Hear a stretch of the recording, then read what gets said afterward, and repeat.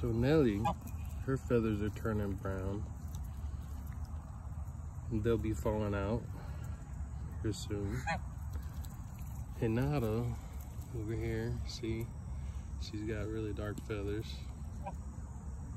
So they turn color when they fall out and they're they're dark when they come in as well, so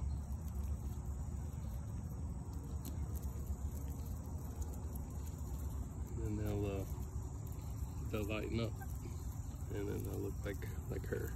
But if you look real close at her wing, you can see how her feathers are in disrepair.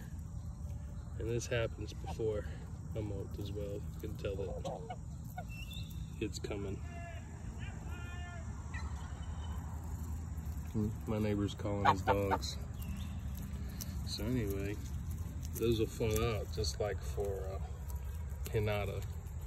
Hers fell out, her long feathers at the, the wingtips. So if you look at her, you see she don't have those. So those will grow in later, uh, or here soon. There we go. Thanks for coming over. You'll see these blue uh, pin feathers come, or pin feathers come out. And when they do, those big long feathers right, like right here at the tips will will come out of that and grow back. Yeah. So, but uh, yeah, molting's kind of rough on them, so we tend to give them some brewer's yeast and uh, oyster shells in their diet to help them with molting.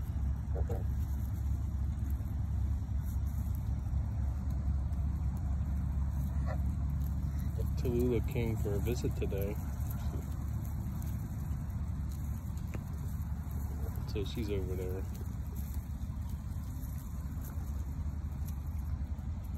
Yeah. So Santana. Santana's starting too, see? He's got the dark feathers. Here soon there'll be a feather storm. There's already a bunch of feathers up there by their house and in their pen.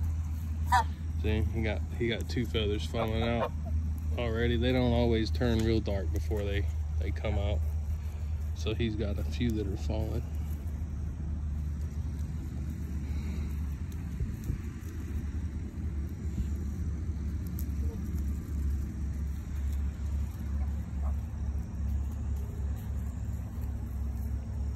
Some little doves up by the tree.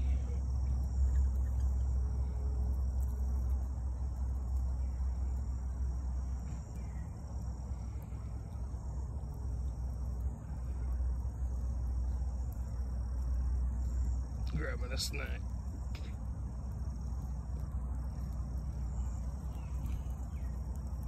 All right. Well, I'm out. Have a great week and weekend.